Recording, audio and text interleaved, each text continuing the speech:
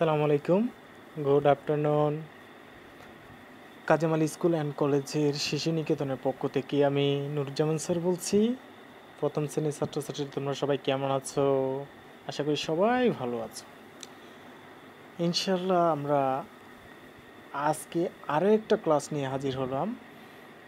ইনশাল্লাহ আমরা শেষ করতে পারব সঠিক সময়ে। তো গত ক্লাসে আমরা পড়িয়েছিলাম ইউনিট সেভেন্টিন একটা রাইম পড়িয়েছিলাম, তাই না? Rain rain go away come again another day little children want to play rain rain go away তাই না? তোমরা আবৃত্তি করেছ এবং লিখিয়েছ, ঠিক আছে? আজকে আমরা আরেকটা নতুন টপিকস নিয়ে হাজির হলাম। সেটা ইউনিট এইটিন এর লেসন ওয়ান টু থ্রি তার মানে হচ্ছে লেসন খেয়াল করো লেসন এক থেকে তিন, ঠিক আছে? সো আমাদের আজকের টপিকস হচ্ছে নাম্বারস আমরা নাম্বারস নিয়ে পড়ব, ঠিক আছে? ওকে জাস্ট একটু খেয়াল করো, আমরা এর আগে ছয় পর্যন্ত শিখেছিলাম, তাই না? One two three four five six আজকে আমাদের নাম্বারস হচ্ছে সেভেন আমরা আজকে কাউন্ট করব সেভেন ঠিক আছে? ওকে সো সেভেন তাহলে আমরা আবার একটু রিপিট করি। One two three four five six seven তাহলে আজকে আমাদের পড়ার বিষয় হচ্ছে নাম্বার সেভেন তাহলে সেভেন খেয়াল করো, এখানে কয়টা কাইট আছে? হ্যাঁ একটা, দুটো, তিনটা, চারটা, পাঁচটা, ছয়টা, সাতটা। সেভেন কাইটস সেভেন কাইটস সাতটা ঘুড়ি রয়েছে। তাহলে আমরা একটু ট্রেচ করি, অর্থাৎ আঁকি, তাহলে seven seven seven seven seven, ঠিক আছে? আমরা সেভেন এভাবে লিখব। তাহলে দেখো ওয়ান, এটা হচ্ছে one, two, three, four, five, six তাহলে পরেরটা হবে কত? সেভেন আমরা দিয়েছি, তাই না? এখন দেখো, তাহলে এখানে যদি আমরা সেভেন দিই সেভেন সেভেনের পর আগের সংখ্যাটা কত? সিক্স তারপরটা কত? সিক্স এরপর হচ্ছে ফাইভ ফাইভ তারপরটা কত? ফোর তারপর হচ্ছে থ্রি তারপর হচ্ছে টু এরপর হচ্ছে ওয়ান তাহলে হচ্ছে one two three four five six আবার আমার সাথে সাথে বলো one two three four five six seven তাহলে আজকে আমাদের নাম্বার হচ্ছে সেভেন তাহলে আমরা বলতে পারি seven six five four three two one very good এই তো তোমরা ফিরে গেছো, ঠিক আছে? আসো আমরা এখন কি করব? কাউন্ট করব, ঠিক আছে? খেয়াল করে এখানে অ্যান্ডস কয়টা আছে? Ants one two three four খেয়াল করো one two three four five six seven তাহলে আমাদের আছে কয়টা? সেভেন ষাটটা আছে, তাই না? হ্যাঁ। এবার আসো ক্যাপস আমরা কাউন্ট করব caps one two three four five তাহলে কয়টা আছে ফাইভ তাহলে কয়টা ক্যাপস আছে? পাঁচটা। তাহলে আমরা লিখব ফাইভ ঠিক আছে? শূন্যস্থান আমরা কী লিখব? ফাইভ তাহলে ক্যাটস কয়টা আছে? খেয়াল করো তো। ক্যাটস আমরা কাউন্ট করি। ওয়ান টু তাহলে কয়টা আছে? টু তাহলে আমরা টু ইউজ বসাবো, তাই না? টু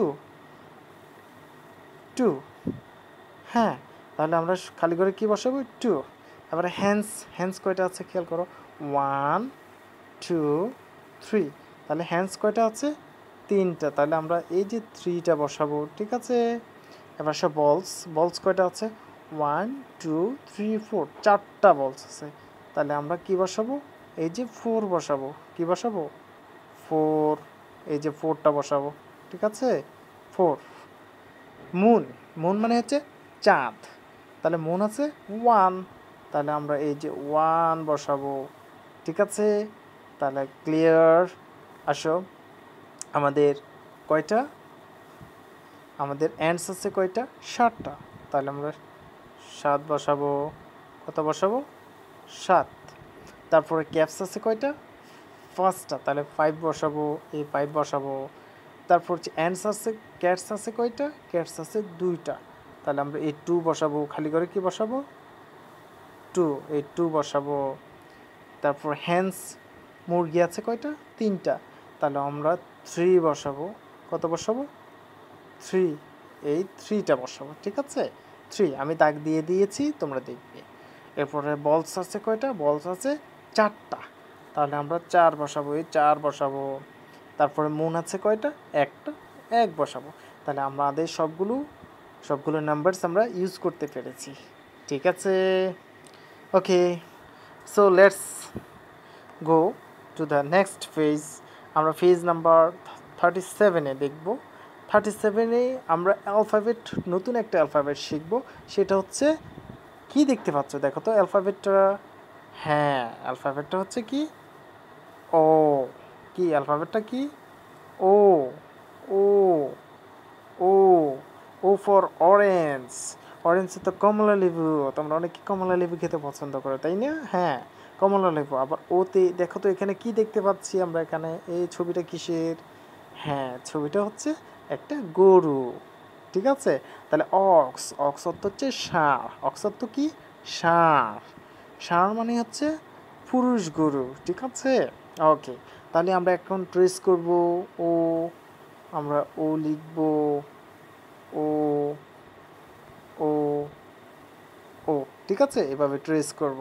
তাহলে এটা হচ্ছে ক্যাপিটাল লেটার ও এবার স্মল লেটার ও খেয়াল করো স্মল লেটার ও ঠিক মিডল করে হবে। মিডল করে তোমরা ট্রেস করবে ও জাস্ট মিডল করে বের হবে না ও ও ঠিক আছে? এইভাবে ট্রেস করবে, ওকে? সো আসো, আমরা এখন দেখব O for ox O for ox এখানে কোনটা আছে দেখো? আমরা জানি যে এই ছবিটা কিসের? ছবিটা হচ্ছে গড, ছাগল। তাহলে ছাগল কিন্তু, আমাদের গড কিন্তু ও দিয়ে আসে না। তাহলে আমাদের এটা হবে না ক্রস তারপরে আমরা কি দেখতে পাচ্ছি? হ্যান হ্যান মানে হচ্ছে মুরগি। মুরগিও ও দিয়ে নয়, তাহলে আমাদের এটাও নেই। তারপর নিচে কি আছে? নেট পেছনে নেট এন ফর নেট নেটও আমাদের আজকে টপিক্স নয়, তাহলে আমরা cross B B for ball সেটাও নয়। একমাত্র কি আছে? সেটা হচ্ছে অক্স কি? Ox O X ox ox তো ষাঁড়। ঠিক আছে? তাহলে আমাদের দেখো এখানে যে ox O, X, ox ox তো ষাঁড় আমাদের এক্স আছে, কিন্তু ও নেই, তাহলে আমরা ও বসাই দিব অক্স, ঠিক আছে? আমরা অক্স বসাবো। Same to same O for ox O for ox O for orange O for orange ঠিক আছে? আমরা বাসায় এগুলো ট্রেস করব, তার পরবর্তীতে কি করব? প্র্যাকটিস করব। প্র্যাকটিস করলে আমরা ভালোভাবে শিখতে পারব, ঠিক আছে? তাহলে আমরা পেলাম O for ox O for ox O for orange O for তুমি যে কোনো একটা শব্দ লিখতে পারবে, ঠিক আছে? আমি দুটো শব্দ দিয়েছি, দুটো শব্দ, দেখো। অক্স অর্থ হচ্ছে ষাঁড় আর ও ফর অরেঞ্জ অরেঞ্জ হতো কমলা লেবু। তাহলে এখন আসো। আমরা ইউনিট নাইনটিনে যেটা পড়ব, সেটা হচ্ছে নাইনটিনে আমরা কতগুলো ছবি দেখতে পাচ্ছি, তাই না? কয়টা ছবি দেখতে পাচ্ছ? দেখো, আমরা ক্রো, একটা পাখি মানে হচ্ছে কাক দেখতে পাচ্ছি। তারপরে কি ফন্ড? ফন্ড অর্থ হচ্ছে পুকুর। ফন্ড শব্দের অর্থ পুকুর। ট্রি শব্দের অর্থ হচ্ছে গাছ। প্ল্যান্ট শব্দের অর্থ হচ্ছে হ্যাঁ তাও চারা গাছ। ওকে, তাহলে খেয়াল করো, বলছে, হোয়ার ডু দে লিভ? তারা কোথায় থাকে? তারা কারা? আমরা এখানে কতগুলো ছবি দেখতে পাচ্ছি, তাই না? ইয়াস ছবি দেখতে পাচ্ছি। এবার আসো ছবিতে, আমরা আচ্ছা বলো তো, ক্রো ক্রো কোথায় থাকে? ক্রো ক্রো কোথায় বাস করে? ক্রো ট্রির মধ্যে বাস করে। কিসে? ট্রিতে, গাছের মধ্যে। তারপর হচ্ছে কি? আমরা দেখতে পাচ্ছি ডগ। ডগ কোথায় থাকে? ডগ অবশ্যই বাড়িতে থাকে, তাই না? আচ্ছা ফিশ, এই ফিশটা কোথায় থাকে? ফিশটা হচ্ছে ফন্ডে থাকে, ফন্ডে। কোথায় থাকে? ফন্ডে পুকুরে। তার মানে হচ্ছে আমরা দেখতে পেলাম যে এখানে যে কয়টা আছে, যে কয়টা জিনিস আছে, সেটার মধ্যে দেখতে পেলাম যে আমরা এই যে ফিশ থাকে ফন্ডে আর ক্রো থাকে টিতে, আর কেউ নেই, আর কেউ কোথায় থাকে না। এখানে আমরা দেখতে পাচ্ছি, তার মানে ডগের কোনো বাসস্থান নেই, এখানে দেখা যাচ্ছে না। অ্যাপেল অ্যাপেল কিন্তু প্ল্যান্টে হয়, গাছে হয়, তাই না? এই প্ল্যান্টে। অর্থাৎ গাছের মধ্যে অ্যাপেল ধরে। তারপরে আমাদের গড গটের কোনো বাসস্থান নেই এবং তোমার হচ্ছে অ্যান্ট এবং বি মৌমাছির নেই। তাহলে আমরা বুঝতে পারলাম ক্রো থাকে কোথায়? টিতে ট্রি ট্রি শব্দটা গাছ। আর এই যে ফিশ কোথায় থাকে? ফন্ডে। ফিশ কোথায় থাকে? ফন্ডে থাকে, পুকুরে থাকে। এটা পুকুর, এটা হচ্ছে ট্রি বুঝতে পেরেছ? তাহলে মানুষ কোথায় থাকে বলো তো? মানুষ হ্যাঁ মানুষ ঘরে থাকে। তাহলে এখন আসো, আমরা যে ক্রস দেওয়া যে শব্দগুলো দেখতে পাচ্ছি, সেগুলো আসলে কোথায় থাকে? দেখো, এই যে ট্রি তোমার হচ্ছে ডগ ডগ কোথায় থাকে? ডগ আমাদের বাড়িতে থাকে। আমরা তাদেরকে লালন পালন করি, তাই না? হ্যাঁ। তারপর হচ্ছে ছাগল ছাগল কোথায় থাকে? ছাগলও আমাদের বাড়িতে থাকে, তাই না? গট। আমরা বাসস্থানে এদেরকে রাখি। তারপর হচ্ছে অ্যান্ট অ্যান্ট কোথায় থাকে? হোলে অর্থাৎ গাছের গর্তের মধ্যে বা মাটির গর্তের মধ্যে। ঠিক আছে? বুঝতে পেরেছ? এবার আসো আমরা। তাহলে শিখলাম ক্রো থাকে টি ট্রিতে আর ফিশ থাকে ফন্ডে ফন্ড অর্থ হচ্ছে পুকুর ট্রি শব্দের অর্থ হচ্ছে গাছ। তাহলে আমরা এখানে যে কয়টা শব্দ আছে, সবগুলো শব্দের অর্থ জানতে পারলাম। তাহলে আমাদের ক্রো শব্দের অর্থ কী বলতো? ক্রো শব্দের অর্থ হচ্ছে কাক। এটা কি? ডগ। ডগ অর্থ হচ্ছে কুকুর। এটা কি? ফিশ। ফিশ শব্দের অর্থ মাছ। এটা কি? এটা হচ্ছে ফন্ড। ফন্ড অর্থ পুকুর। এটা কি? ট্রি। ট্রি শব্দের অর্থ গাছ। এটা কি? অ্যাপেল। অ্যাপেল শব্দের অর্থ হচ্ছে আপেল। তারপর ওটা কি? প্ল্যান্ট। প্ল্যান্ট অর্থ হচ্ছে চারা গাছ। এটা কি? অ্যান্ট। অ্যান্ট অর্থ হচ্ছে পিঁপড়া। জি। গট। গট অর্থ ছাগল। ওকে সো আমরা বুঝতে পারলাম যে এতগুলো প্রাণী অ্যানিমেল দেওয়া আছে হ্যাঁ? এবং প্ল্যান্টস বিভিন্ন সাবস্টেন্স দেওয়া আছে, পদার্থ দেওয়া আছে, ঠিক আছে? তাহলে আমরা বুঝতে পারলাম ক্রো থাকে, গাছে, আর পিস থাকে কোথায়? ট্রিতে ওকে তারপর আমরা চলে যাব অ্যালফাবেট দিয়ে আমরা একটু শিখব, ঠিক আছে? অ্যালফাবেট খেয়াল করো। তাহলে আমাদের অ্যালফাবেট আমরা নতুন করে এটাকে কি করব? ম্যাচ করব। তাহলে এটা কিসের ছবি? ডগ তাহলে ডি আগে ডি তারপর হচ্ছে D O G dog dog দিয়ে হয় কুকুর, অর্থাৎ ম্যাচিং তোমরা যে ছবি দেখে ম্যাচ করে লিখেছ, প্রথম সময়কে তোমরা অনেকেই ভালো করেছ, খুব ভালো করেছ। তোমাদেরকে অভিনন্দন যে তোমরা রিয়ারেঞ্জ খুব ভালো করে করতে পেরেছ। এরপর এটা কি বলো তো এটা হচ্ছে ডিম। তাহলে ডিম ইংরেজি কি? এগ তাহলে ই জি জি এগ তারপর এটা কি? হ্যান তাহলে হ্যান হ্যান তো মুরগি। তাহলে এইচ তারপর হচ্ছে ই তারপর হচ্ছে এন হ্যান এটা কি? Bag B A, G, bag. তাহলে আমরা এটা কি দেখলাম? এটা হচ্ছে ই, জি জি। এগ। এগ তো ডিম। এটা কি? Dog. D, O, G. Dog. এটা কি? Hen. H E, N. Hen. এটা কি? Bag B A G bag তোমরা বাসায় আবার এগুলো কি করবে?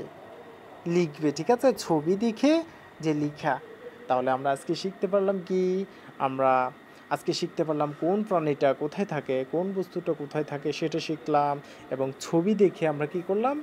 ছবি দেখে আমরা ছবির নাম লিখতে পারলাম, তাই না?